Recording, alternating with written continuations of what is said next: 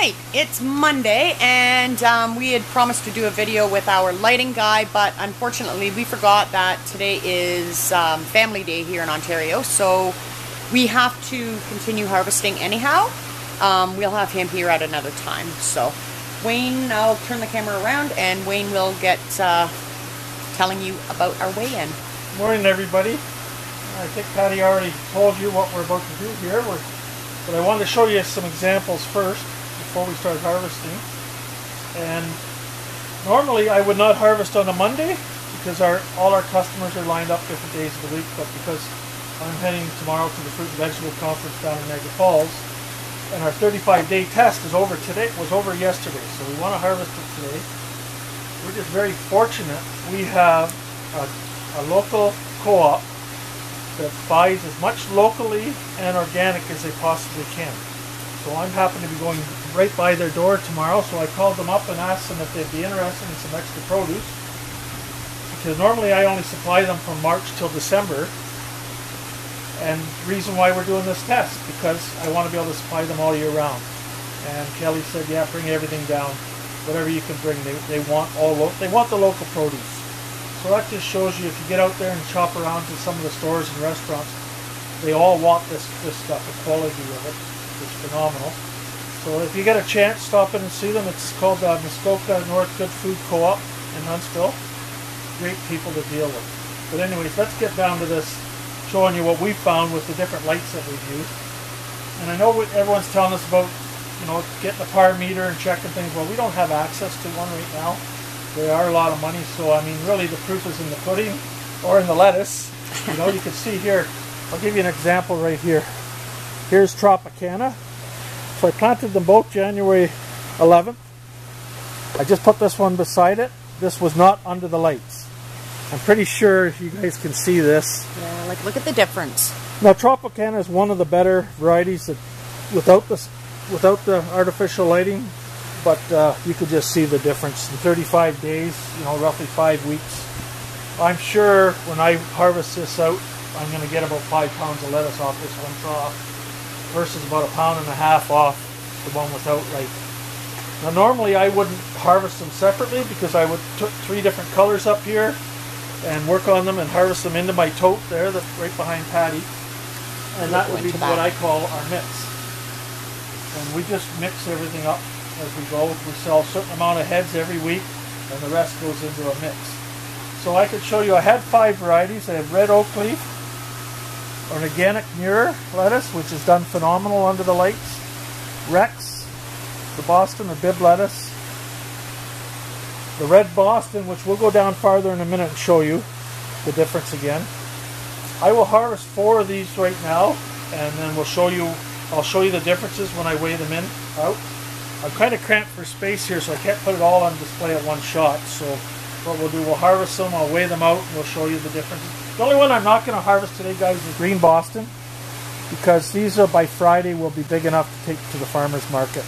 Uh, and I could sell these by the head for 350 a head. And out of the 16 in the trough, it looks like I'm going to get at least 14, maybe 15 of them that I can sell as a head. So it's a lot less labor, and I do need a certain amount of heads every week as well. So I can see that just by looking at the one down. There's no comparison. So we'll do that. We'll go down. We'll show how do you go down and show you the difference in the red boss. Well, are we going to show them this too? Oh, the oak leaf. Yeah, the oak leaf. Yeah, so the difference. Yeah, maybe.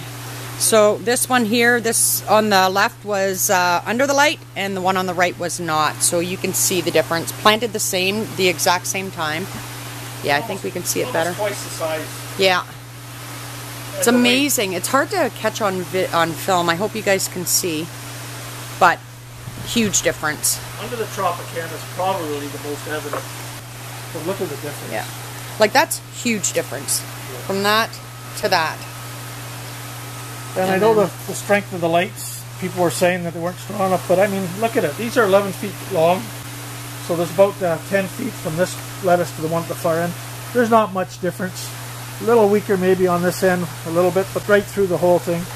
I'm pretty happy with what. Uh, and that's, yeah, very happy. But that's what um, a lot of people are asking. I'll put the links for the other lights as well.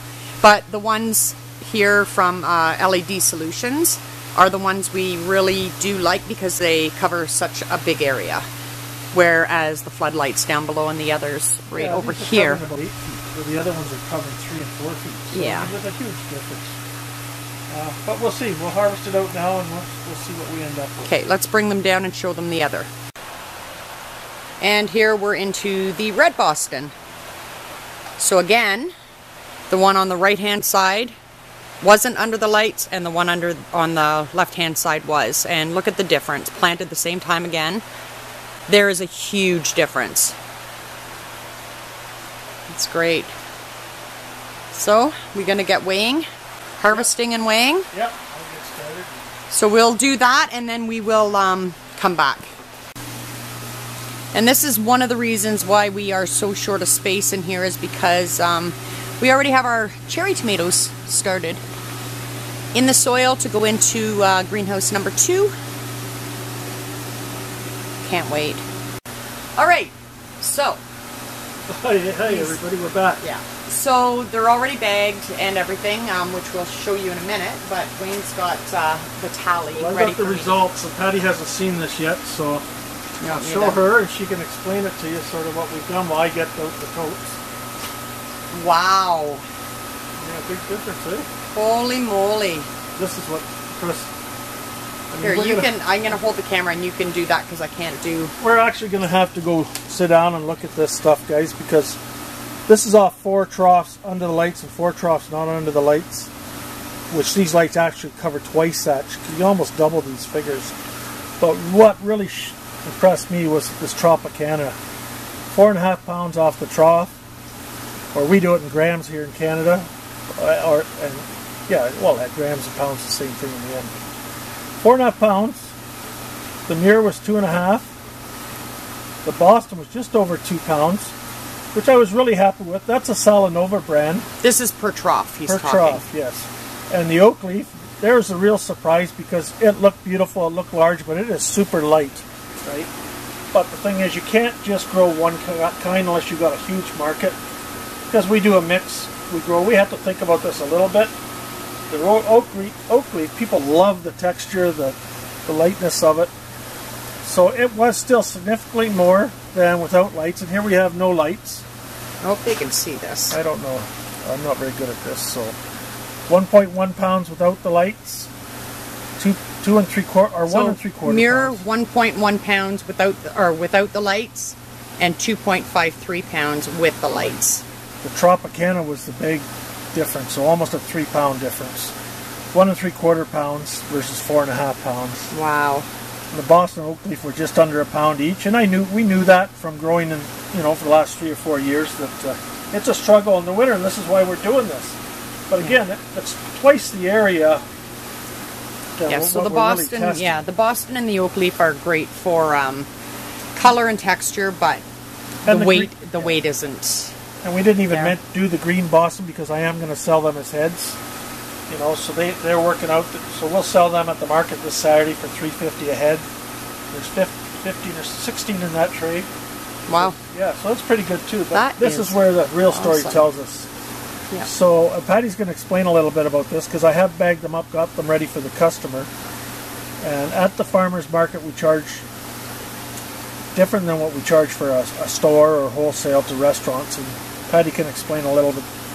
Well, we'll get the totes out and I'll show them how we do it. pull a couple of them out. Yep. It's pretty warm in here today. That's why I do them. Beautiful. Bag- Actually, we have the door open. That's why I bagged them up right away. Beautiful. Okay, I'll move this. Sorry about the camera movement here, guys, but... All right. Beautiful stuff. So, this is what we call our um. Spring Hill mix. It's, uh, I'll turn it around, it's fogging up on that side. So there's four different varieties in here. Um, these are half pound bags that we sell at market. Uh, we sell either one pound or half pound. We sell it for 450 per half pound. Yeah. And uh, when we sell the full um, full pound From here. from here, it's 850. So nine dollars So. a pound at the market. nine dollars a pound at the market but we only bring half pound bags to the market it's just easier um, and this is so this is how we we have our 12 pound bags. We can use 10 pound or 12 pound bags.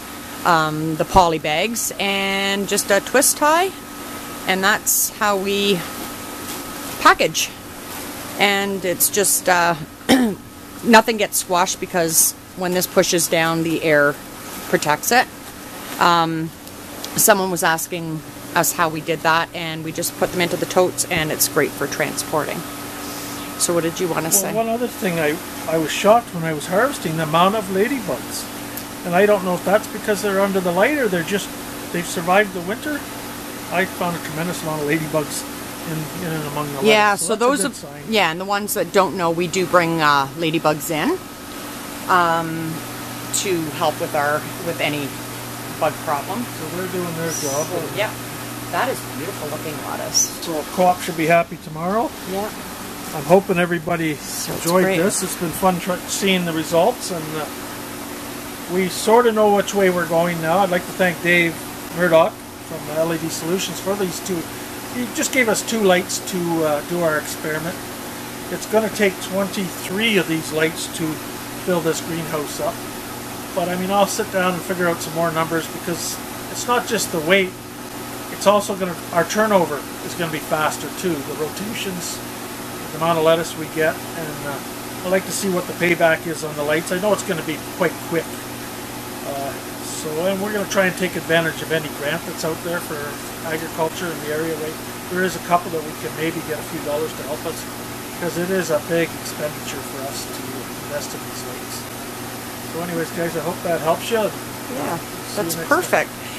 Okay, and before we do go though, I'm going to um, put the LED Solutions is just working on their website right now. So if you want to get a hold of Dave or Rune, um, actually it'll be Dave because that's the only contact information I have. I'll put his email again and his phone number. Feel free to call him. Tell him Wayne and Patty at Spring Hill Farm sent you, and uh, he's very knowledgeable and he will help you out in any way he can. So for now, Wayne's just putting that back in our cooler. Say bye. Bye guys.